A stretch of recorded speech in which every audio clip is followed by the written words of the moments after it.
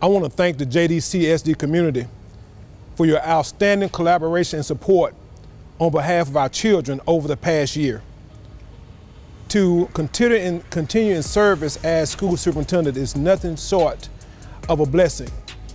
It is a huge undertaking, and I thank God for the blessing of giving me this opportunity.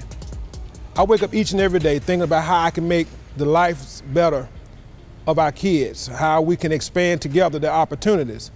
And this State of the District address, we were able to see from beginning to end all of our partners. Uh, we saw our kids on display.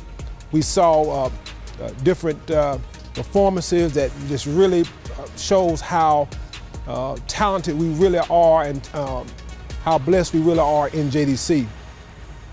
I can see all of the possibilities. I can imagine the possibilities. And I'm asking everyone in JDC not to think about the size of the J, of JDC, not to think about where we've been, but to think about where we're going. To imagine the possibilities of how how we can climb up into the A and B uh, stratosphere, so we can take our rightful place as a district that is recognized for our academics. We are so super proud of our athletics, but now we've brought on another extracurricular activity such as performing arts.